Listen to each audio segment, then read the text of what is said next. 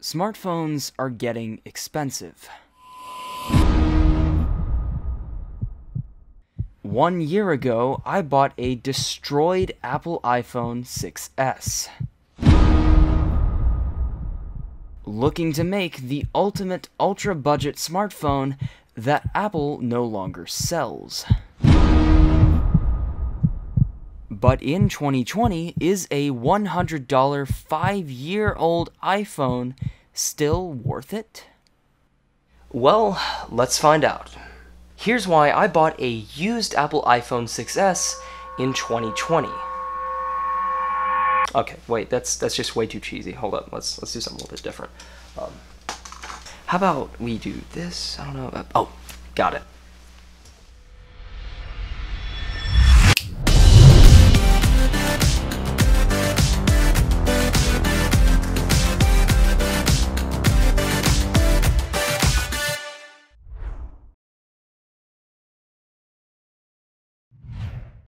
What's up guys, Brady here, and today I am so excited to finally bring to fruition this project that I've been working on for almost a year now. Ooh, pop socket. Okay, so first off, here's a few things that you need to know.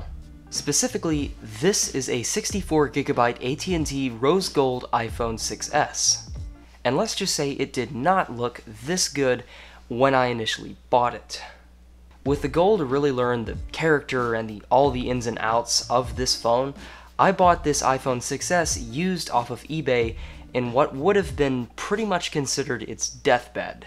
For the most part, it still functioned perfectly fine, where it mattered anyway, but it had a laundry list of different problems.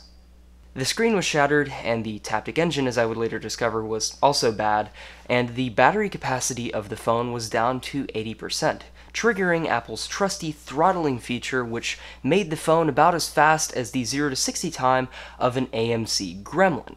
So, being the brave soul that I am, well, if you want to even call it that, I replaced all of the parts on this phone by myself with absolutely no prior repair experience whatsoever. Yeah, that was fun. In all honesty, though, it really wasn't that bad for someone like me with only an iFixit kit, a hairdryer, and a trusty online guide to get me through the whole entire process start to finish. So I actually bought this phone back in March of 2019 and about four water seal gaskets, two screens, a bad Taptic engine, and a lot of time waiting for parts to ship from eBay along with a new battery later this phone was good as new by April of 2019. And here is the final result of my handiwork.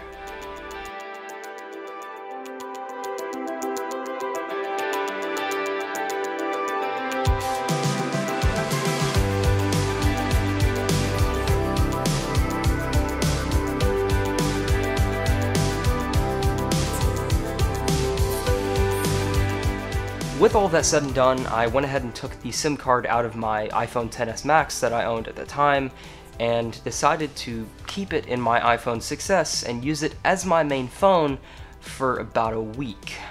Funny enough, it actually ended up staying in there much longer than I initially thought it would. I used this phone as my primary line for a collective time of about three to four weeks. And it did a really great job and honestly surprised me at how much it's not really that behind in 2019 and even now 2020. Okay, so first off, let's go ahead and talk about the most important thing that I replaced in this phone, the display.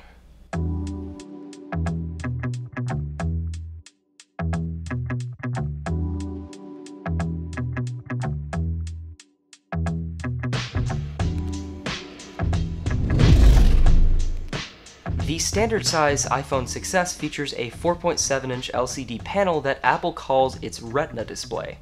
It comes with a 1334 by 750 pixel resolution with a pixels per inch count of 326. Fun fact, this is actually the exact same pixels per inch count on the base model iPhone 11 that Apple sells today. Although newer smartphones like this iPhone 11 Pro Max take advantage of a newer technology called OLED, which offers deeper blacks, more saturated colors, and a insane contrast ratio of nearly 2 million to 1. If you don't know what any of that means, basically the colors on this look more vibrant, the blacks look a lot darker, and the screen overall just looks a lot more pleasing to the eye. With that being said, compared to the newer types of screens that we have today, the screen on the iPhone 6s definitely won't blow anyone away, but for what it is, it does a really good job. Colors look accurate and are up to full RGB standards, although I will add in that the P3 color gamut that is featured in the iPhone 7 and up is not present here, but it's really a minor difference in the grand scheme of things. Other new technologies like HDR may not really be around, but watching movies and YouTube videos is still a totally enjoyable experience for this 2015 flagship. And in 2020, iOS 13 is also a really remarkable experience for a phone of this age. The phone is still remarkably snappy and can handle most daily tasks like checking Instagram, Snapchat, or just listening to a quick song on Spotify while sending a couple iMessages totally fine. Although I will point out that you probably shouldn't try to run any very graphically intensive games on this phone, lest it begin to overheat and slow down to the point where you can fry an egg on the back of it. But for everything else, the 6S does just fine. The 6S does have one major advantage over bigger modern smartphones though, its size.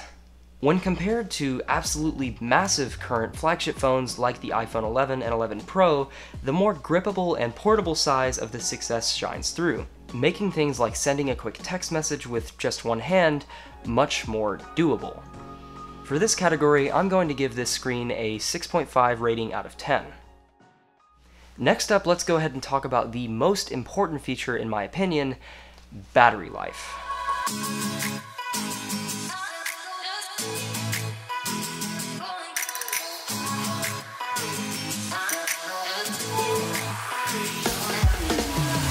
Battery life is extremely important to me.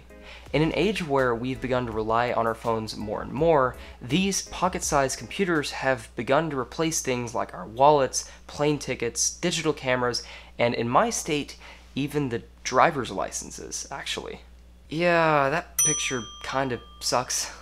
That's why the battery was one of the first things I looked at replacing as soon as I got this phone. At 100% battery health, the iPhone 6s delivers pretty good battery life for most moderate forms of use. And it can definitely get you through a full day, provided you don't play too much Subway Surfers or watch 3 hours of YouTube videos at full screen brightness. Heavier usage, however, is where the 6s really suffers, with screen on time of this type of use averaging at around 3.5 hours at best. So in 2020, this type of heavier dependability is where the 6S can tend to show its age. And it absolutely pales in comparison to the nearly 10 hour screen on time that I get with my 11 Pro Max with heavy usage on the daily. Seriously, I like never charge this phone at all, except at night.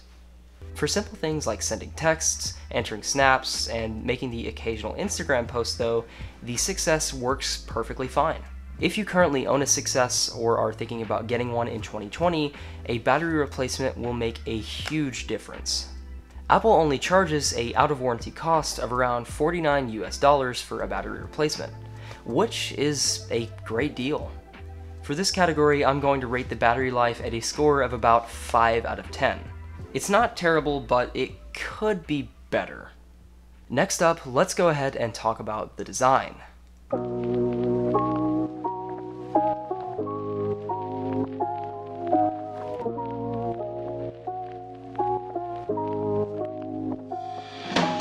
The iPhone 6s features the same design as the iPhone 6, a design which went mostly unchanged right up until the release of the 2017 iPhone 10. In my opinion, it's actually aged quite well. The all aluminum build coupled with the classic home button design still makes for a great combo, and aside from a few cosmetic differences, is hard to tell apart from newer phones like the iPhone 8 from the front. I especially love the rose gold finish. It has this bronze hue about it in different lighting conditions, and the white front glass makes it easy to spot from a distance. It's also the last iPhone to feature the headphone jack, which is very nice to have, but mostly irrelevant these days thanks to the rise of quality and affordable wireless headphones. Also, because AirPods. The cameras also aren't bad, with a 12 megapixel rear facing camera coupled with a 5 megapixel selfie camera on the front, providing perfectly adequate results for sending a quick snap or saving memories on social media, but honestly not anything beyond that. The camera looks pretty good on its own, but when you compare it to the three camera system on the iPhone 11 Pro with features like Deep Fusion AI and computational photography and HDR, it kind of just falls apart pretty quickly. Basically, just stick to Snapchat and you'll be fine. The classic home button on the front also houses the second generation Touch ID fingerprint sensor, which is still just as fast now in 2020 as it was in 2015. It's also very accurate, unlike Face ID, I don't think I've ever had Touch ID misfire on me. This design has actually served Apple so well that they are reportedly slated at the time of this recording in the next month to release a brand new iPhone featuring the same design with updated internals. This category has aged the best in my opinion, so I'm going to give it a rated score of about 7.5 out of 10. So, with all that being said, should you buy an iPhone 6s in 2020? Well, yes. But also no. The future of the 6S remains somewhat murky. Unless rumors of it getting an additional year of support with iOS 14 prove to be true, which they very well could, it can be assumed that iOS 13 would be the last software update of iOS that this phone receives. But after that, apps will still work just fine for a few years, but eventually it will become entirely obsolete. But if you're looking to get as cheap an iPhone as possible with current software support still intact, then the 6S still delivers a great value. And most models can be found on eBay these days for around 80 to 150 US dollars, which pales in comparison to the price of phones like the $1200 iPhone 11 Pro Max. If I had to characterize the iPhone 6S in 2020 in one statement, it would be this. It's not amazing on its own, but it's great for what it is. And what it is, is a great budget iPhone. It checks all the boxes, whether it be Touch ID 2, decent battery life, a pretty good screen, not terrible cameras, and all of this in a design that has held up really well over the past five years.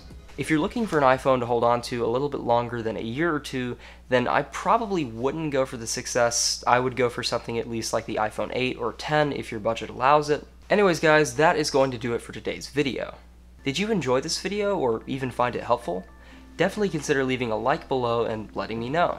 Are you a current or past owner of an iPhone 6s in 2020?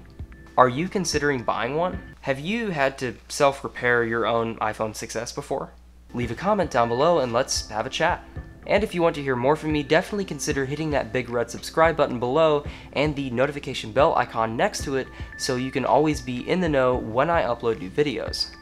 And as always, see you in the next one.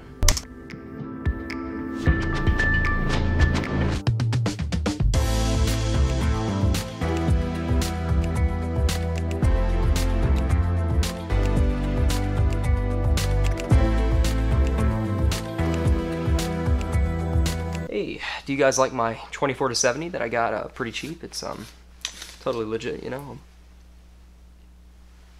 I just spilled coffee all over the floor.